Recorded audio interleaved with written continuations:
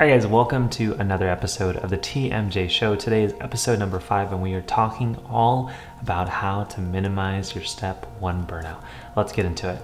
All right, guys, what is going on? Lakshay here from the MD Journey, helping you succeed on your medical journey with less stress. Thank you for showing up for this fifth episode of the TMJ show. If you are new, uh, my name is Lakshay. I'm currently an internal medicine resident that's been helping people just like you succeed on their medical journey with less stress. So if you're listening to this on your podcast, make sure you subscribe for weekly um, podcast episodes. And if you enjoy the content, then make sure you drop an honest review on either iTunes, Spotify, Google Podcast. And each week we're going to be looking at those individuals that have left a feedback and giving one lucky winner um, either a free ebook or a video course of their choice from our website. If you're watching this on YouTube in a video format, then make sure you hit that like button, subscribe to the channel, and drop a comment down below, either a question for this video or a topic and question for a future podcast episode to also be entered in that weekly giveaway. But let's get into it. Today we're going to talk about burnout step one how to avoid it. It's common. I know a lot of you guys probably have had it or experienced it or have heard horror stories. And even myself going through my very first week of dedicated prep i didn't know the right things to keep in mind. And so i had to learn the hard way. We're going to give you three tips in today's episode which is brought to you by my step one masterclass which teaches you three different discoveries that i made during my dedicated to help me get a 250 plus and help a lot of my coaching students do the same. So if you guys are interested that's going to be in the show notes in the podcast as well as the description on YouTube. But let's get into the three tips to help you minimize burnout during step one. So tip number one is to start and end your day with the lowest threshold task. And this is basically a fancy way of saying find the thing that's the easiest thing for you to do and begin and end your day with it. This may be the easiest study technique. This may be the best resource that you enjoy doing and put them at the start and end of your day. That way you feel like your step one prep started and ended on a good note. For myself, it was something like flashcards um, or things that are enjoyable, such as watching a sketchy video or a pathoma video. You may have something totally different, but make sure the two ends of your schedule where you're gonna feel the least motivated and the most burnt out, being the beginning and the end, are accounted for. I promise that if you do that, then waking up every morning isn't going to be so hard and getting to the end and doing that very last task is also going to be doable. Now tip number two is to be strict with your clock out time. Now if you're a seasoned listener of the MD journey, you know my concept about the clock out time, which is basically find a time each and every day and saying, I can study up to this time, but after this, I'm absolutely done. It may be 10, 11, it may be 7 p.m., for your step one prep, I recommend putting the clock anywhere from seven to eight and saying, you know, I'm no longer going to study after this hour, even if I'm running behind. I'm just going to mingle things around in my future schedule. But this gives you enough time to relax towards the end of the day without going to bed, you know, immediately after finishing your step one prep for the day.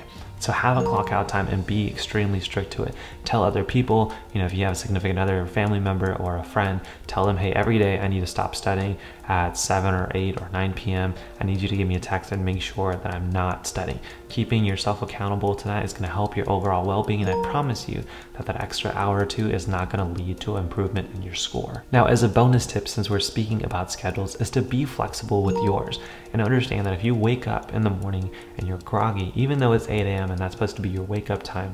I prefer that you get an extra hour or two of sleep. That's exactly what I would do. I'd wake up at seven or eight because those would be my wake up times in my schedule.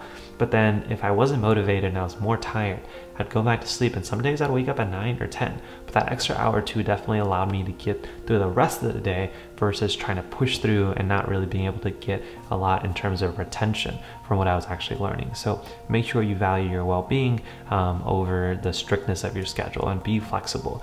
And as another bonus tip, because I'm going to keep them coming at you guys, is to have a little bit of a buffer between your different step one tasks. So if you're using first aid and doing some UWorld and your typical time slot would be from 9 to 10 and 10 to 10.30, give a little bit of buffer between each task. So if something goes a little bit overtime, um, it's not gonna screw your whole schedule up. And that way, if you sleep a little bit more, it's still going to be okay. And my final tip for you guys on how to minimize and decrease your burnout and stress during step one is to have a running list of everything you feel really comfortable with and keep adding to it. This may be a Word doc, an Excel sheet, a written thing if you if that's what you prefer.